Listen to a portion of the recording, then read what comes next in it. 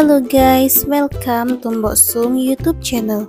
Sebelum nonton video ini, jangan lupa like, comment, subscribe, and share channel YouTube ini supaya terus berkembang dan aku makin semangat ya guys.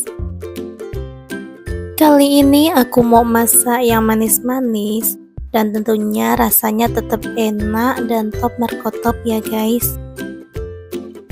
Seperti yang sudah kalian lihat penampakan sekarang ini, yaitu aku lagi bikin semur ayam. Ayo langsung aja markisa, mari kita masak. Untuk membuat semur ayam ini, bahannya tidak terlalu banyak dan caranya pun tidak terlalu rumit.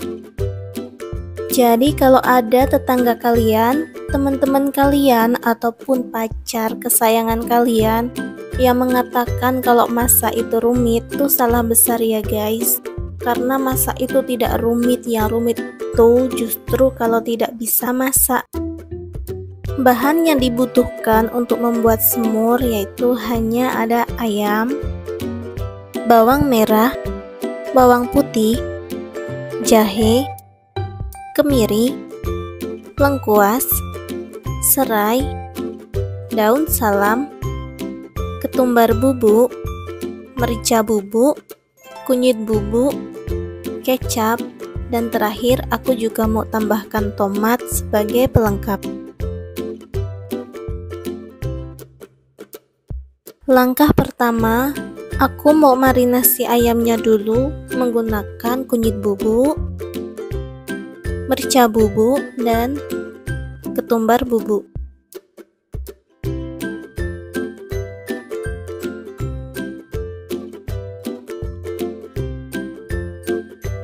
Tambahkan sedikit air, kemudian kita aduk-aduk pakai tangan nggak apa-apa ya guys. Ini aku tangannya sudah cuci bersih. Pokoknya dicampur aja sampai terlumuri bumbunya ini. Setelah itu, diamkan sekitar 15 menit supaya bumbunya meresap.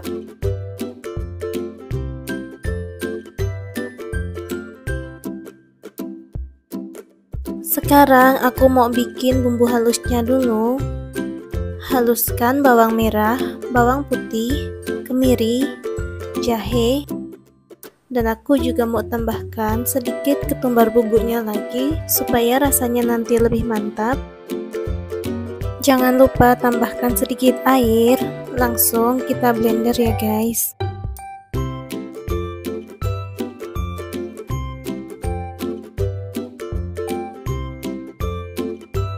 Untuk tomatnya, aku mau potong-potong kecil-kecil dadu seperti ini ya guys. Nanti tomat ini cuma mau aku gunakan sebagai pelengkap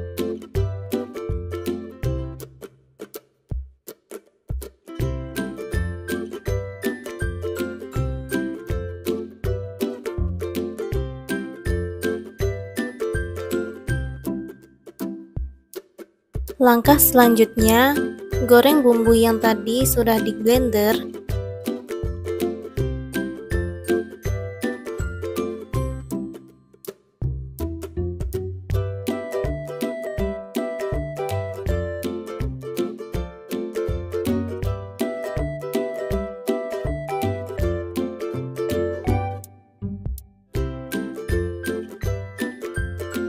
Masukkan daun salam, serai, dan lengkuas.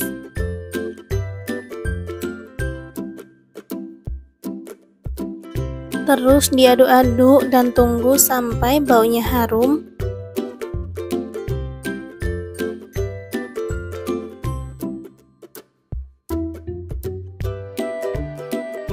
Kalau baunya sudah harum, langsung saja masukkan air secukupnya.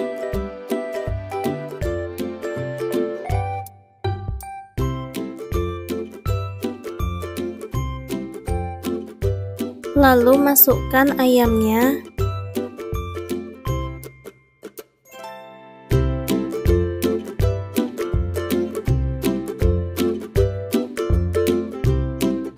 Masukkan kecap.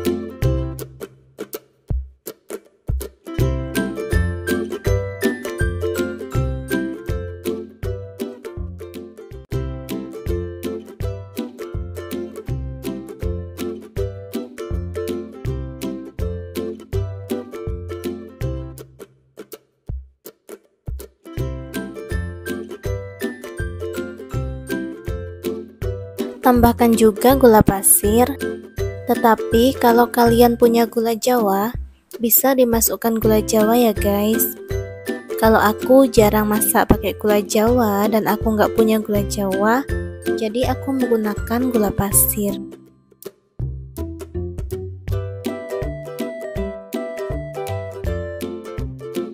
Tambahkan penyedap rasa dan garam.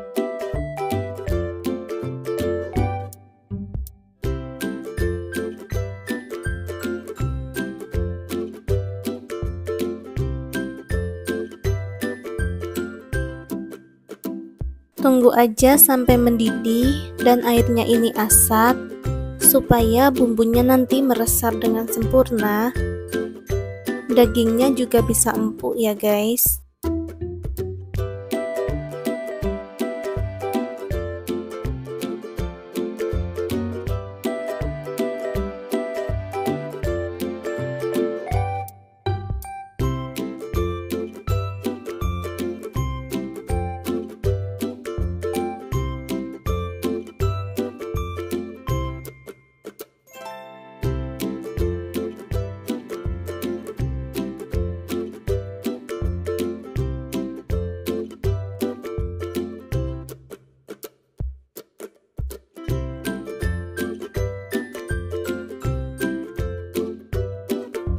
Jangan lupa juga sambil dibolak-balik supaya ayamnya ini warnanya hitam semua ya guys.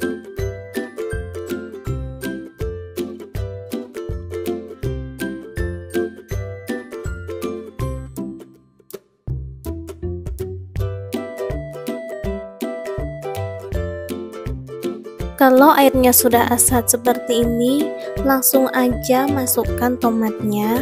Setelah dimasukkan tomat seperti ini, rasanya jadi lebih mantap ya guys. Nanti ada kecut-kecutnya dari tomat ini dan ayamnya menjadi lebih segar gitu ya.